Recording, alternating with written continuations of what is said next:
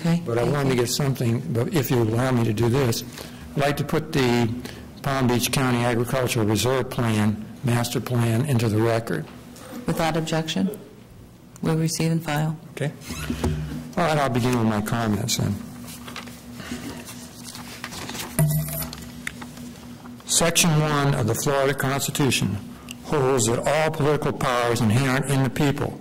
The enunciation herein of certain rights shall not be considered to deny or impair others retained by the people. One of the right- rights retained by the people is the power to assert their will through the voter referendum.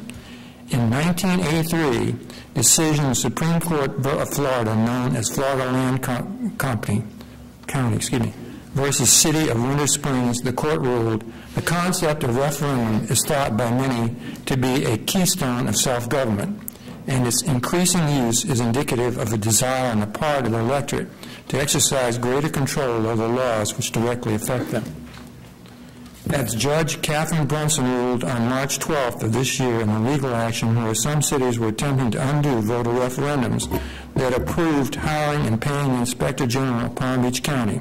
In this case, the people exercised the referendum power when a majority of the voters from each municipality voted to extend the operations of the OIG to their respective municipality and contribute funding thereto.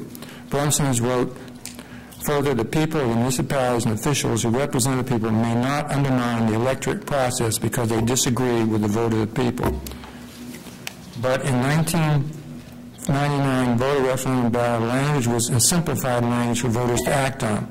The official county document that produced and governed the voter referendum was the Palm Beach County Agricultural Reserve Master Plan. Courts looked to the, master, to the legislative intent when there is ambiguity, what was intended in the master plan is a crystal clear roadmap. The master plan contains the following directives. The BC directed development of this master plan with agricultural preservation enhancement as its fundamental goal.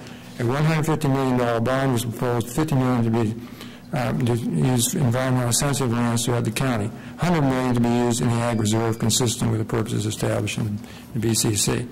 Uh, the only, I just want to conclude, the only way you can change the rules in the ag reserve and this the plan is to allow more development is through voter referendum.